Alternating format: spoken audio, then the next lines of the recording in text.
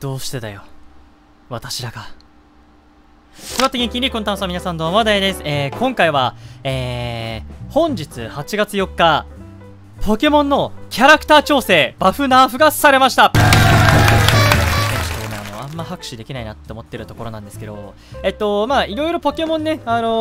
ー、ナーフの内容に関してはある程度、また後でまとめた動画を出そうとは思っているんですが、ちょ、これがエグすぎるなって思ったんで、ちょっと急遽ね、この動画を先に撮っている次第です。ナーフで、私らがが、ナーフされたんですよ。はい、まず、えっと、キャラ調整の内容として、コットンガードがまず7秒から9秒にクールタイムが伸びました。2秒伸びた。うん。まこれだけでも結構きついなって思っていたんですけれども回復量どうやら40%減です。はい。びっくりしたこれは。ちょっとね40%ね。40%! えっと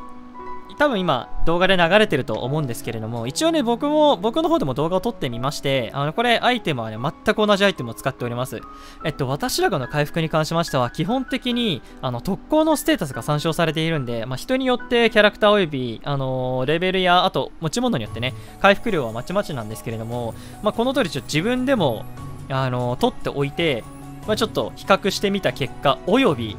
まあちょっとツイッターとかもね、いろいろ調べてみて、あのいろんな人が結構ね、あの数値どうたらどうたらみたいなところをね、乗っけていたんで、まあその比率計算もしつつ、まあぶっちゃけそんなにサンプルが多かったわけではないんですけれども、どこもかしくもほぼ0.6に近い、0.61とか0.59とかそういう数値がずっと出ていたので、これはほぼ間違いないかなと。コットンガード、回復量40%減、クールタイム2秒増加。お疲れ様です。死んだ。死んだ。マジか。えっとちなみにえー、こちらユナイト技綿毛の前20%減です。お疲れ様です。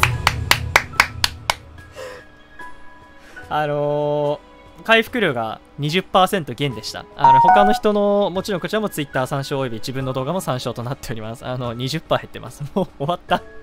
本当に終わった冗談じゃない。あの、ちなみに綿胞子はクールタイムが10秒から7.5秒と、なんとなんと2.5秒も下がりました。はい。僕はあのカジュアルマッチとかで結構僕今ランクが今エキスパートの1なんですけど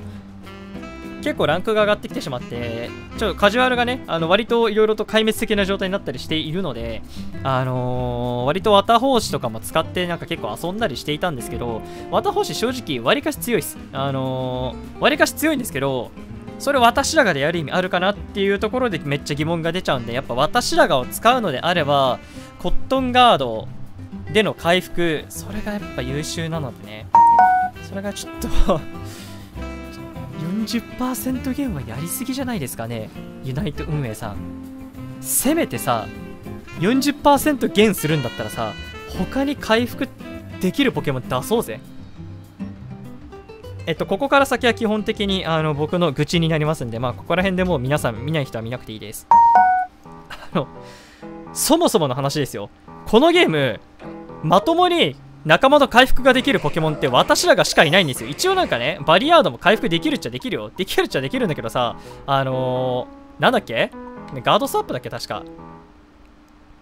あ、そう、うん。ガードスワップでなんか仲間と、まあ、味方と自分の、味方と自分の HP を回復できるとか言われても、これもそもそも10 12か13か、12だったかな、確か。確かレベル12ぐらいまで回復できないんで、まあ、そんな終盤で回復って言われてもっていう話なんでね。まあ、バリアードの回復はほぼないとしましょう。ほぼ、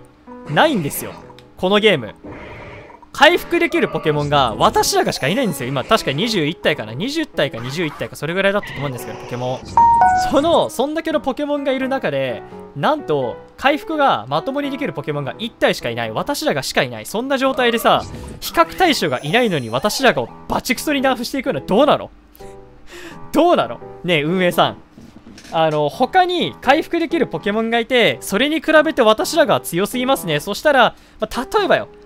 例えば、まあ、違かったけど、サーナイトが回復できるポケモンだったとしよう。サーナイトが仮に回復できるようなポケモンだったとして、サーナイトに比べて私らがの回復量が高すぎるんで、サーナイト誰も選びませんね。じゃあさ、あの、私らが落としてサーナイトをピックする意味を出していきましょう。だったらわかるんですよ。今回の割とアップデート、あの、そういう調整がね、割かし多かったんで、いいなとは思ったんですが、ちょっと私らがのこのナーフ厳しすぎる。ぶっちゃけ、40%減および20%減の状態で、この、特に終盤に関してはあまりね、あの、お世辞にも強いとは言えない、序中盤が特に強い私らがの、序中盤の強みを潰してしまったら、私らがパーティーに入れる必要性がなくなってしまうんじゃないかっていう風に思うわけですね。で、って思いまして、あの、とりあえずまだ2戦しか潜ってないんですけど、2戦潜ってきました。あ結構まあ、カジュアルですけど、ぶっちゃけカジュアルなんで、なんとも言えないです。カジュアルなんでなんとも言えないですけど、少なくとも、昔に比べて耐久性は圧倒的に減ったね。うん。昔に比べるとってか、まあ昨日だね。昨日に比べると耐久性は明らか減ったかなというふうに感じました。で、あのー、何より、結構私らがのコットンガードって、あのー、7秒に1回打てたんで、割ともう連打しててよかったんですよね。もうひたすら連打し続けるような形でよかったんですけど、やっぱ9秒に1回って形になって、ちゃんとタイミングを見て打たなければいけなくなってしまいましたね。あのー、味方の体力状況とかをとりあえず見て、なんか、いわゆるシールドを貼って突っ込んでいこうだったり、とりあえず戦闘が始まりそうだからシールドを貼ろうといった使い方ではなく、あのー、戦闘が始まったからシールドを貼ろう、殴られ始めたからシールドを貼ろうといった形で、ちょっと、あのー、ある程度考えた上でタイミングを見計らいつつ、あの、コットンガードを使っていかないと、ぶっちゃけ今のコットンガードだと、回復量の低下も相まって、少し難しくなりましたね。まあ、この言い方あれだけど、こんだけナーフされても仲間の回復ができるポケモンって結局私らがしかいないし、結局あの、序盤の光合成が死んでるわけではないのでね、あのー、序盤の、本当に最序盤の安定性を取るといった部分で考えれば、光合成が結局役に立つので、私らがが、まあ、いなくなるかといえば、いらなくなるかといえば、そうではない。ただ、少なからず今まで私らがを好きで使っていたプレイヤーそして私らがを、あのー、チームで使っていたプレイヤーからすると非常に痛いと思います。僕は結構私らが使っていたり、まあ、使いたくなくても使ったりとか、まあ、少なくともチームで勝つために私らがを使っていたんですが今の状況だと特にソロでランク潜るんであれば勝つために私らがではなく勝つために自分の得意なポケモンを選んだ方がいいのかもしれません。はい、少なくとも今カジュアルで試合してみた感じ、私らが本当にいるのか？強い、強いけれども、ただ、このナーフについていけるのか？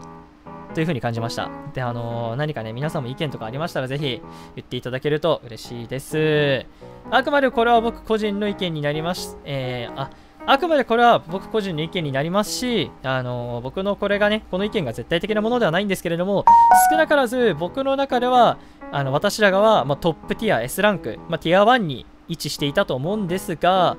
若干下がったかなと。若干 S、S? といった具合にはなったかなと思っています。まあ、ここら辺に関しては皆さんね、あのコメントをお待ちしておりますので、どしどしコメントいただければと思います。では次回のご視聴もよろしくね。バイバイ。